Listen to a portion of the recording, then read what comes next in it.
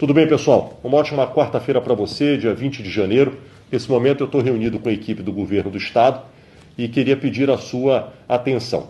Nós estamos muito preocupados com o que está acontecendo no estado do Amazonas e começamos a perceber uma pressão no sistema de saúde e um aumento uh, na incidência viral nos municípios que fazem fronteira com o estado vizinho, que estão ali na divisa entre o Pará e o Amazonas. Por essa razão, nós, na semana passada, já tínhamos feito uma mudança do bandeiramento do Baixo Amazonas, saindo da coloração laranja e passando para vermelho, como uma medida preventiva.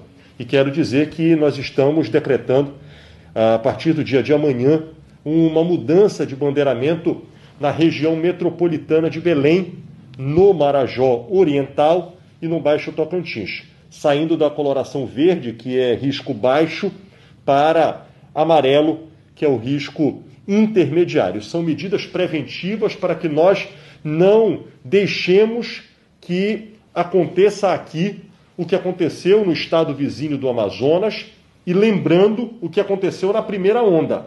Foi exatamente isto.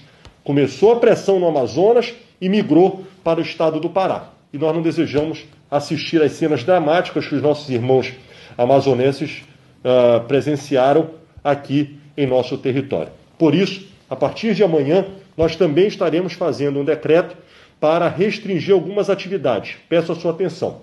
Estará proibido a partir de amanhã, em todo o território paraense, festas, shows e funcionamento de bares. Estarão permitidos apenas restaurantes, respeitando o espaçamento e a quantidade ah, permitida, sendo que o horário será de até meia-noite limite de funcionamento.